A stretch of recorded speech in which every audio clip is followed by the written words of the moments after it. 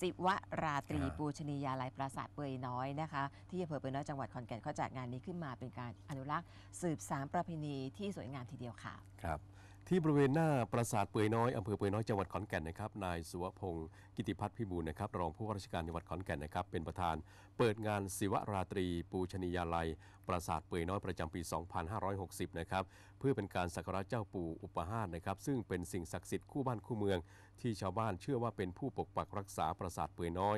และก็ทำให้เกิดความสงบสุขมาจนถึงทุกวันนี้ อีกทั้งส่งเสริมแล้วก็อนุรักษ์ประเพณี การผูกเสี่ยวอันเป็นประเพณีอันดีงามของจังหวัดขอนแก่นนะครับ เพื่อเผยแพร่ให้ประชาชนทั่วไปได้ทราบเกี่ยวกับโบราณสถานปราสาทปุยน้อย สถาปัตยกรรมที่รุ่งเรืองในอดีตนะครับ แล้วก็บ่งบอกถึงความเป็นมาของชาวอำเภอปุยน้อย และเสริมสร้างให้ประชาชนครับได้เกิดความรัก ความสามัคคีสมานฉันท์ด้วยนะครับ กิจกรรมในงานนะคะ ก็ประกอบไปด้วยพิธีบวงสรวงเจ้าปู่อุปห้าสิ่งศักดิ์สิทธิ์ของชาวอำเภอเปือยน้อย และอำเภอใกล้เคียง การประกอบพิธีส่งน้ำสกการะปราสาทเปือยน้อยในวันขึ้น 15 ข้ามเดือน 5 ซึ่งตรงกับวันเพ็ญเดือน 5 ของทุกปี การแสดงรำของประชาชนจำนวน 700 คน การจัดแสดงแสงสีเสียงประวัติความเป็นมาของเมืองเปือยน้อย การจัดขบวนแห่การจัดนิทรรศการเฉลิมพระเกียรติลานวัฒนธรรมมหกรรมอาหารอร่อย การจัดแสดงและจำหน่ายสินค้าพื้นเมือง ประกวดสินค้าทางการเกษตรสินค้าโอท็อปมีการจัดแสดงและประกวดการทำอาหารพื้นบ้านด้วยนะคะ